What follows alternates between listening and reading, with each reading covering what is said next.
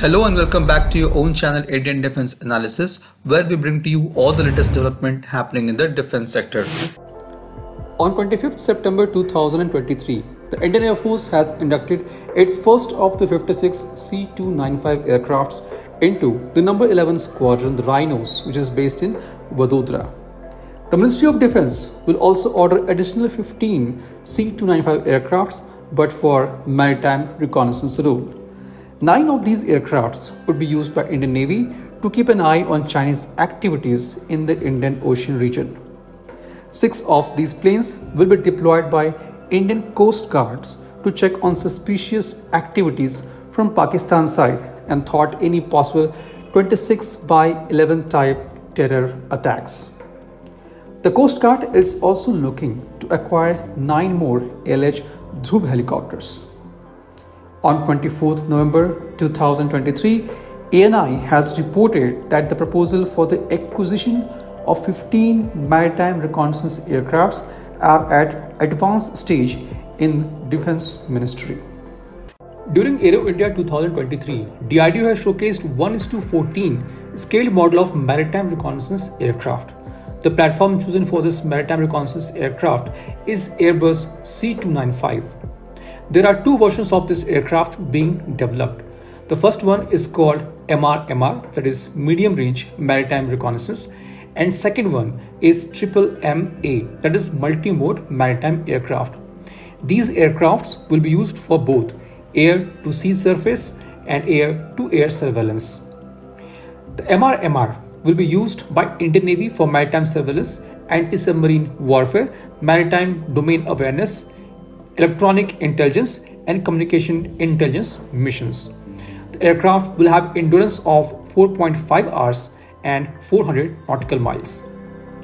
The Triple MA will be used by Indian Coast Guard primarily for maritime surveillance and interdiction, pollution surveillance, search and rescue.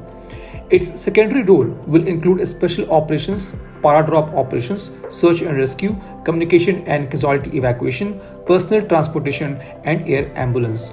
This aircraft will have endurance of 3 hours and 600 nautical mile. Both aircrafts will have flight altitude of nearly 30,000 feet. These maritime reconnaissance aircrafts will feature a variety of state-of-art sensors developed by DRDO to support its multiple missions. The aircraft will be fitted with AESA-based maritime patrol radar and IFF system. It will feature an indigenously developed EO-IR sensor which can be seen below the nose cone of the aircraft model. The EO-IR sensor has been quite a significant development by DRDO. These sensors are at present integrated with various platforms such as NAMICA, Rudra, LCH Prachand, etc.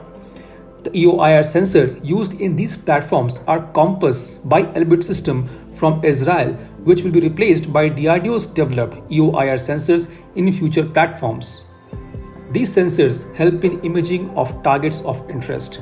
It consists of HD day camera, thermal imager, shortwave infrared imager, laser rangefinder and laser pointer. The sensor can operate simultaneously depending on daylight weather condition and display HDMI images to the operator. It has features of geopointing, georeferencing and video tracking also.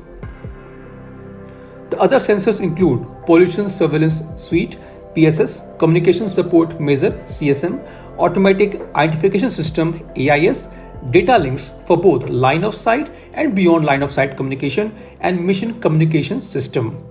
All these sensors will be commanded and controlled by distributed MMS and present the maritime domain awareness picture to the operator on multifunctional tactical console MTC. It shall also provide the same to ground data terminals through communication link. The MRMR and Triple MR will use artificial intelligence and multi-sensor data fusion technology for enhanced situational awareness. The next very important system in this aircraft are going to be data link and mission communication system MCS. The data from the maritime patrol radar IFF, automatic identification system and various other sensors will also be downlinked to the ground stations and tactical control data uplinked to the triple MA system. The communication between triple MA system and ground exploitation stations is through C-band line of sight link and Ku band SATCOM link. The mission communication system MCS provide air-to-air and air-to-ground V/UHF voice communication. It also provides integrated control for all onboard communication sets and intercom for all mission operators and flight crew. The triple MA system will have three reconfigurable triple display multifunctional tactical console MTC capable of operating in any designated modes. The MTC will display the recognizable maritime picture RMP of the overall scenario perceived by various sensors to the mission operator. The same RMP is also communicated to the ground station via data link. The MTC also receives health information from all systems periodically and display the health status to the operator. The C-295 based maritime reconnaissance aircraft is also well suited to conduct anti-submarine warfare and anti-surface warfare missions. The aircraft has underwing hardpoints for carrying weapon system as well as reconnaissance, jamming pods and searchlights. The C-295 has up to 6 underwing hardpoints for weapon system. The hardpoints can hold torpedoes, anti-surface missiles, mines and depth charges. In anti-submarine warfare role, the C-295 can also be equipped with Mk-46 lightweight torpedoes. In anti-ship role, the aircraft can be integrated with two Marte Mk2S anti-ship inert missiles installed under the wing.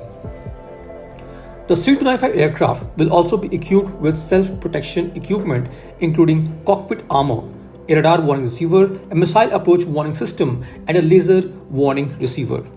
The aircraft can also fire chaff and flares to deceive the incoming missiles. This was today's update. Please let us know your views on this in comment section. If you like the video, do not forget to like, share and subscribe. With this, I would like to say goodbye and Jai Hind. We'll soon back with more interesting and amazing development happening in the defense sector.